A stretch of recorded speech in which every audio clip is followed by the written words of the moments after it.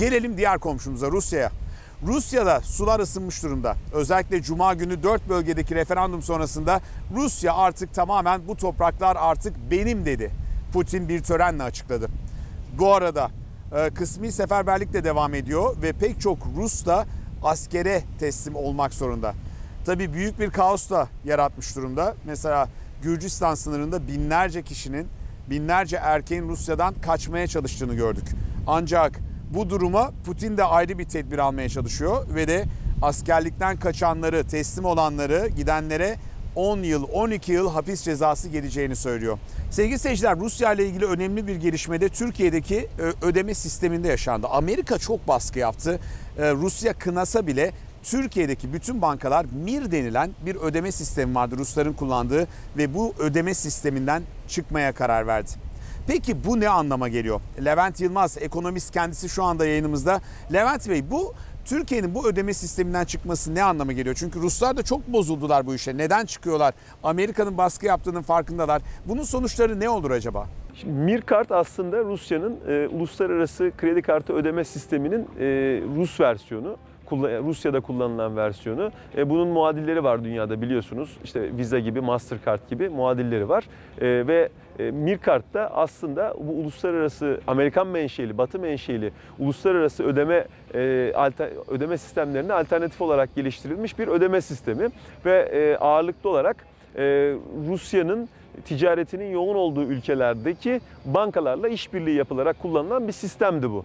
E, ve Türk bankalarının bu sisteme girmesi aslında Rusya-Ukrayna savaşından çok önce e, yani Türkiye'deki özel bankaların bir kısmı 2019 yılında, 2018 yılında, 2020 yılının başlarında Mirkart sistemine girmişlerdi. Yani Rusya'nın e, kredi kartı ödeme sistemine girmişlerdi. Ama son dönemde e, özellikle bu Amerikan yaptırımlarının yoğun konuşulmaya başlandığı ve Amerikan hazinesinin e, Türkiye'deki bankalara, iş, iş, iş insanları derneklerine gönderdiği mektubun e, ortaya çıkmasıyla beraber yaptırım uygulamayan ülkelere yaptırım tehdidinin yoğunlaştığı bir dönemde e, bankalarda e, geçmişte Halkbank'ın başına gelenler Amerika'da e, yeniden yaşanmasın endişesiyle Mirkart ödeme sisteminden çıktılar.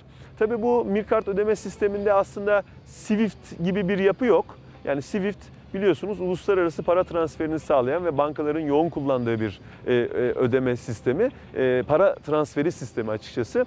E, bu Swift gibi değil. Bu da sadece kredi kartlarında kullanılan bir yöntem, Mirkart yöntemi. Dolayısıyla hacimsel büyüklüğü açısından konuyu değerlendirirsek e, ekonomiye çok yoğun bir etkisi olmayacaktır. Ama algısal boyutu çok önemli. Zira Amerika Birleşik Devletleri'nin son dönemde e, sadece Türkiye'ye yönelik değil, Türkiye dışında da Rusya ile ticaret olan, Mir kartı kullanan ve Rusya'nın alternatif ödeme sistemleriyle işlem yapan ülkelere e, yaptırım uygulama tehdidi veya yaptırımları gündeme getirmesi meselesi e, algısal olarak daha güçlü, daha önemli.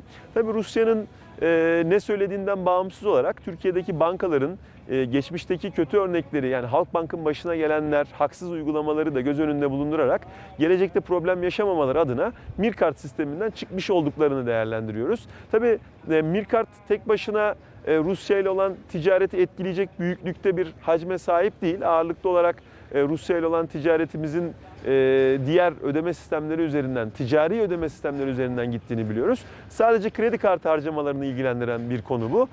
Ve kredi kartlarının büyüklüğü açısından konuya baktığımızda açıkçası Türkiye'nin Türkiye'ye turist olarak gelen Rus vatandaşlarının Türkiye'deki yaptıkları harcamaların boyutuna etki etmeyeceğini değerlendiriyoruz teknik olarak. Yani ekonomik büyüklük olarak etki etmeyeceğini değerlendiriyoruz. Ama sizin de belirttiğiniz gibi algısal boyutu son derece önemli.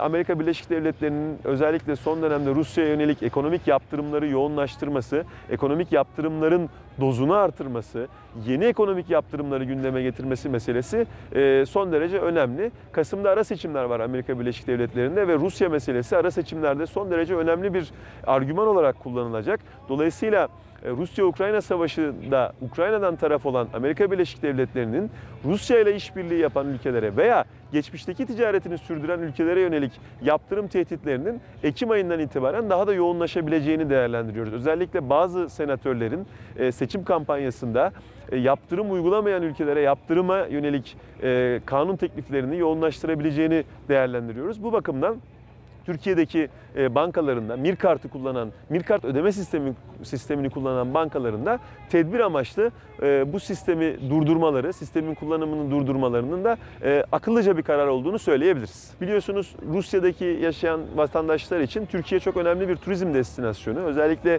yaz aylarından itibaren Rus turistlerin e, Türkiye'nin güneyinde e, konakladıklarını, uzun süreli konaklamalar yaptıklarını biliyoruz. Ve burada ciddi e, olabilecek miktarlarda turizm gelirimiz var bizim e, Rusya'ya bağlı. Ve Rus vatandaşları da ön ödemeli sistemlerle Türkiye'ye geliyor olsalar da devam eden süreçte yanlarındaki kredi kartlarından kullanarak harcamalar yapıyorlar. Aslında bu orayı önemli derecede etkileyebilecek bir işlem. Fakat kredi kartlarının büyüklükleri açısından yani hacimleri açısından, kredi kartları limitleri açısından baktığımızda e, muhtemelen e, kredi kartını kullanan bir Rus vatandaşı, Mirkart sistemi olan kredi kartını kullanan bir e, Rus vatandaşının e, yanında getireceği nakit döviz de zaten Türkiye'deki harcamalarını karşılayacak boyutta olacağı için e, biz turizm gelirleri tarafında negatif bir etkisi olmayacağını değerlendiriyoruz Mirkart'tan çıkışın. Ama son dönemde özellikle Amerika'nın yaptırım uygulamayan ülkelere yaptırım e, mesajlarını yoğunlaştırdığı bir dönemde Mirkart sisteminde kalmanın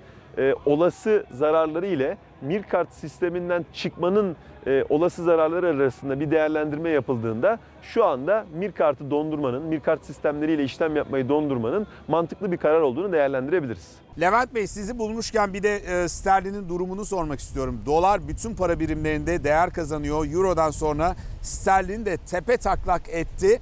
Sizce bu ne anlama geliyor acaba?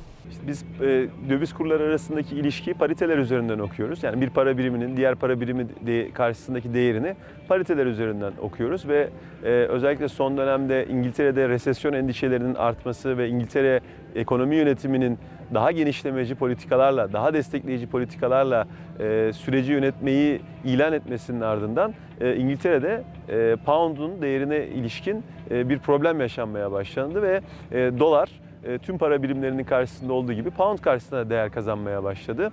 Ve orada e, bizim e, parite dediğimiz yani pound'un dolar karşısındaki değeri açısından izlediğimiz teknik veride birlere yaklaştık. Önceden bu oran daha yüksekti. Yani biz pound'un daha değerli, doların görece olarak ona göre değerinin daha düşük olduğu bir süreci yaşadığımız için orada tıpkı euro dolar paritesinde olduğu gibi euronun değer kayıpları, doların euroya karşı güçlenmesi gibi süreçlerin neticesinde paritenin bire yaklaştığını gördük.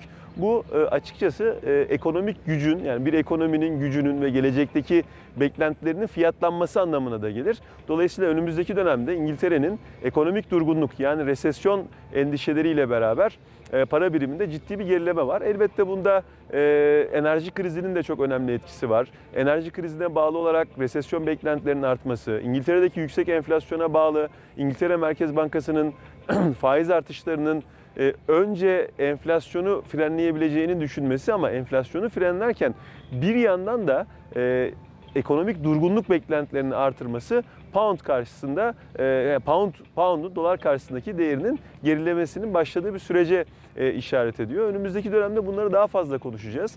Benzeri konuyu aslında hatırlarsanız euro dolar paritesinde de konuşmuştuk. E, geçmişte e, dolar euro paritesi açısından konuya baktığımızda euronun daha güçlü olduğu bir dönem vardı. E, 1.20'ler, 1.15'leri konuşuyorduk paritede. Bugün geldiğimiz noktada dolar euro paritesinde terse dönmeyi gördük. 0.96'ları 0.97'leri görüyoruz. Yani dolar endeksinin sürekli güçlendiği, doların sürekli değer kazandığı ve diğer para birimlerinin dolar karşısında değer kaybettiği bir dönemdeyiz. Pound'da da aynısını yaşıyoruz aslında. E, İngiliz pound'u bir süreden bu yana yaşanan küresel ekonomik gelişmeler, Amerikan Merkez Bankası'nın hızlı sıkılaşması, faiz artırımı, bilanço daraltması e, kapsamında dolar endeksi artıyor. Dolar endeksi arttıkça doların güçlendiğini söylüyoruz biz. Dolar güçlendikçe de diğer para birimleri e, aslında dolara karşı değer kaybediyorlar. Yani burada bir karşılıklı geçişkenlik var. Yani hem dolar güçleniyor, doların güçlenmesine yönelik birçok veri var.